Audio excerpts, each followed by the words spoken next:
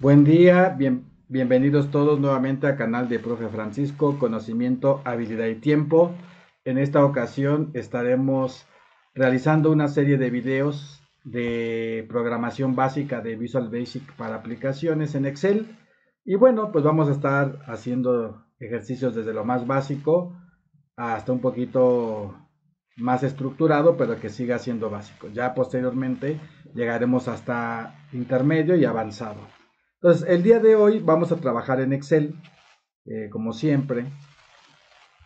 Vamos a abrir nuestra aplicación de Excel y la vamos a guardar, ¿no? Archivo, guardar como. Vamos a buscar una carpeta, eh, vamos a generar una carpeta, en este caso se llama ejercicio, y le, le vamos a poner práctica 1. Regularmente, eh, siempre el tipo de archivo viene como libro de Excel le pongo práctica 1 como nombre y vamos a seleccionar la opción libro de Excel habilitado para macros. Esto es bastante importante dado que nos va a permitir, le damos guardar, como ya existe, me dice que si lo quiero reemplazar, le digo que sí, no hay ningún problema. Y ya está como archivo habilitado para macros, como pueden observar aquí, aquí dice hoja de Excel habilitada para macros, que es el archivo que yo tengo abierto en este momento. Y bueno, esa es eh, la parte que, que, se va a tratar de trabajar con lo que es eh, Excel. Recordemos que eh, Visual Basic for Application o para aplicaciones es un lenguaje de programación que se utiliza principalmente para la automatización y personalización de aplicaciones como Excel, Word, PowerPoint, Access, es decir, de la suite de Office, ¿sale?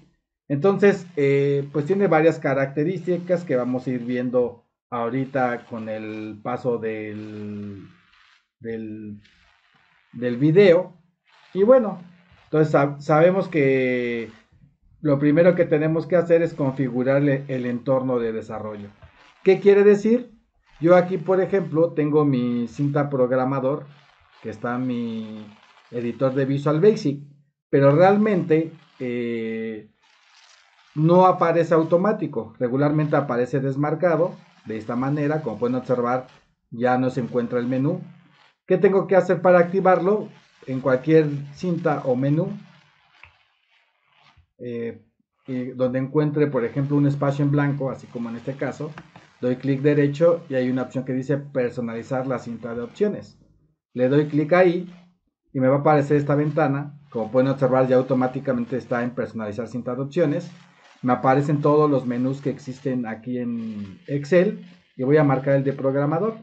Cuando le doy a aceptar, con el botón aceptar, automáticamente ya me aparece aquí arriba ese, menú con sus secciones y herramientas correspondientes. Y bueno, posteriormente tenemos que ver lo que es el editor de Visual Basic. ¿Cómo, lo localizamos? Pues precisamente aquí en la cinta desarrollador o programador, dependiendo de la versión que ustedes tengan, vamos a encontrar Visual Basic. Si yo le doy clic aquí en la sección código, en la herramienta Visual Basic, va a aparecer una nueva ventana, ¿sale? No se ha cerrado Excel, simplemente aparece una nueva ventana donde me aparece el nombre del archivo que tengo abierto de Excel. Si tuviera más de un eh, archivo abierto, aparecerían todos aquí y tendría que tener cuidado de seleccionar el archivo o el nombre del archivo donde quiero realizar las macros, ¿sale? Entonces, eh, ya que tengo esta parte aquí eh, del, del código o del editor de Visual Basic, pues bueno, eh, tendremos que eh, ver algunas características que vamos a ir conociendo de este, de este visualizador de Visual Basic. O, como pueden observar aquí, pues tiene los menús clásicos. Ya más adelante iremos viendo cada una de estas herramientas para qué sirven, para qué funcionan, cómo las podemos ocupar, etcétera. Pero en este momento, pues vamos a ejecutar una primera macro en Visual Basic para aplicaciones eh, recordando que una macro es una secuencia de instrucciones que se pueden ejecutar automáticamente mediante un activador específico como un botón, como una imagen, como una figura, etcétera, que ahorita vamos a hacer el ejercicio para que ustedes lo vean con mayor claridad. Entonces, vamos a seguir los siguientes pasos para ejecutar nuestra primera macro. Que vamos a hacer una, el clásico de clásicos, que es el hola mundo. Entonces vamos a insertar, nos vamos al menú insertar. Recuerden, tenemos que seleccionar nuestra práctica, nos vamos al menú insertar. Y ahí vamos a seleccionar eh, módulo, que está aquí, módulo. Si lo hicieron correcto, automáticamente aparece una carpeta en el subnivel de práctica 1 y aparece un nombre que dice módulo 1, ¿vale?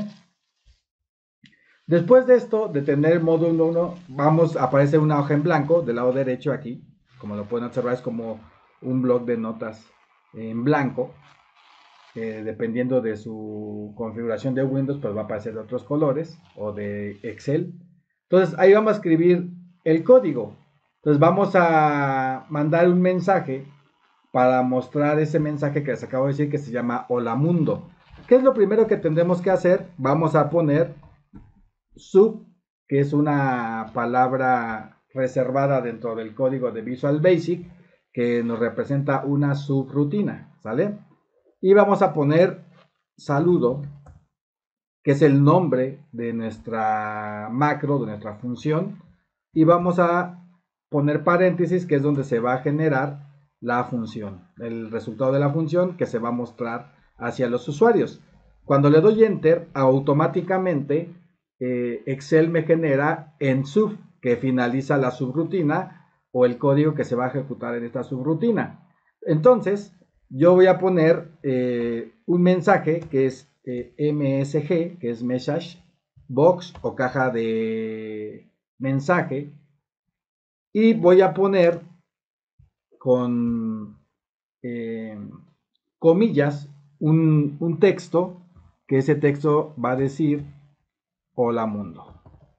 Hola mundo. Listo.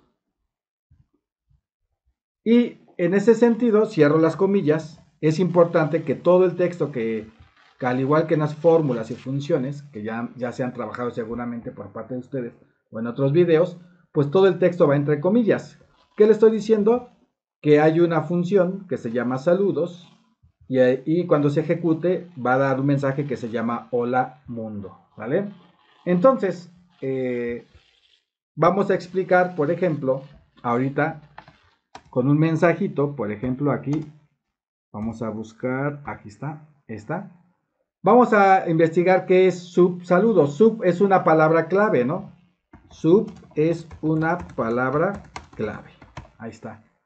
Que indica el comienzo de una subrutina. Es una secuencia de instrucciones, ¿sale? Ya más adelante veremos que, cómo se maneja todo, pero son instrucciones que realizan una tarea específica, ¿no?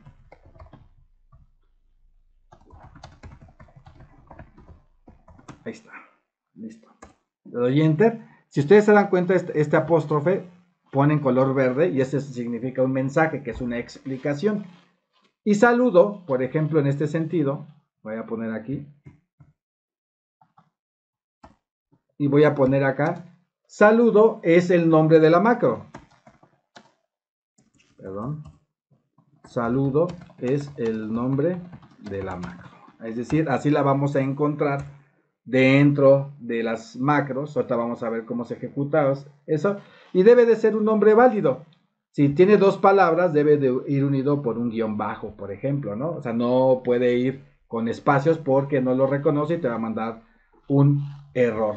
¿Sale? Entonces, ya ahí los paréntesis pues van a atrapar o van a encapsular todo el código que se va a ejecutar dentro de la subrutina. ¿Sale?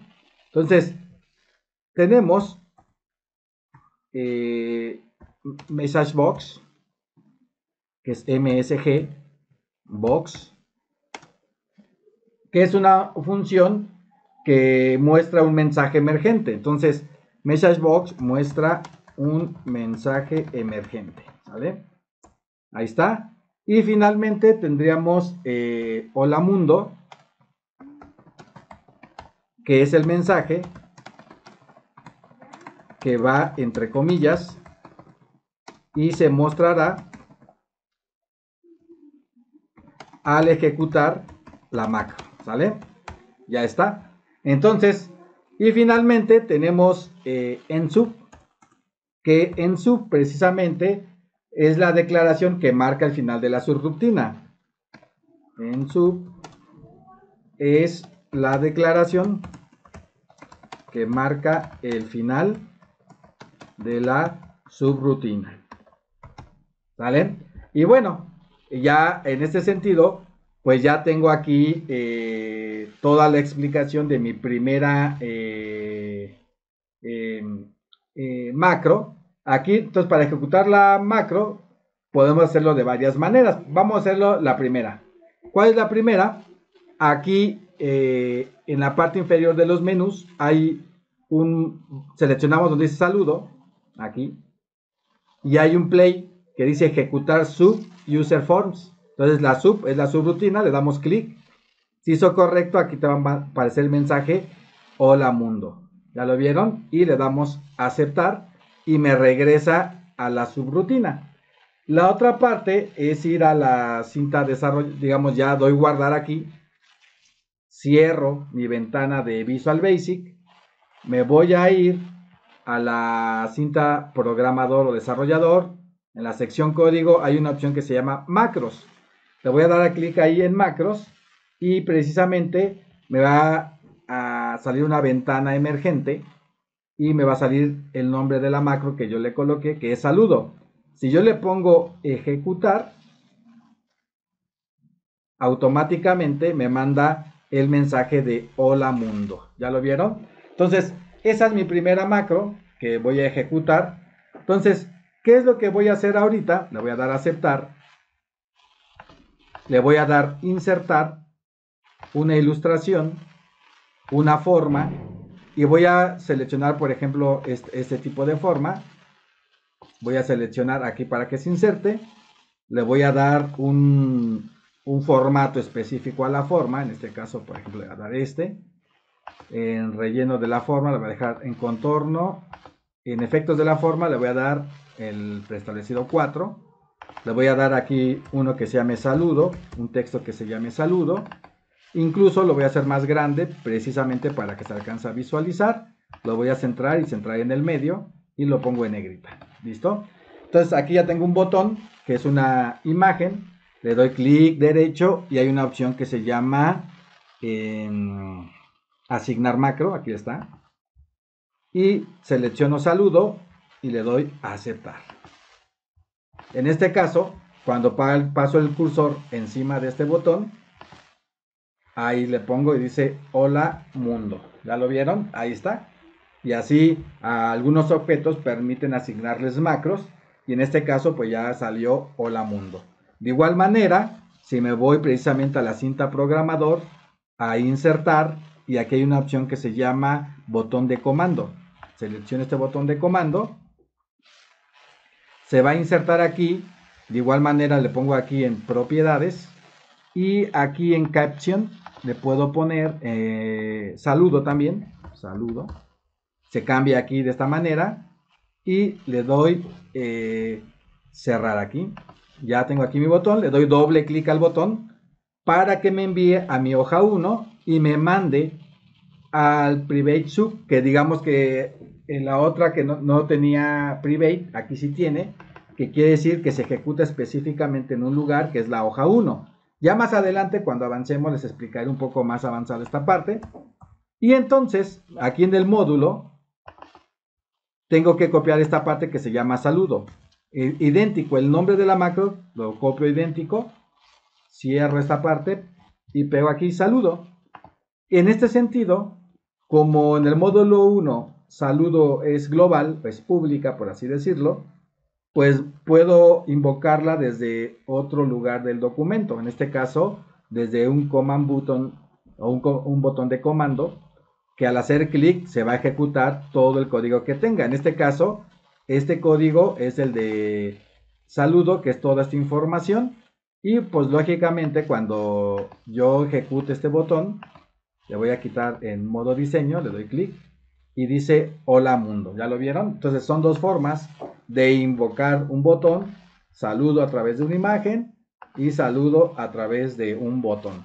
Entonces, eh, como pueden observar, crear una macro es bastante sencillo, no es complicado. Eh, en los siguientes videos estaremos haciendo varios ejercicios acerca de todo esto. Entonces, ya saben, eh, suscríbanse, síganos, denos like, compartan los contenidos con sus conocidos para que podamos seguir subiendo videos y bueno, de igual forma, pues desearles un excelente día y nos estaríamos viendo en el próximo video. Un saludo a todos desde el lugar que nos estén eh, siguiendo. Buen día.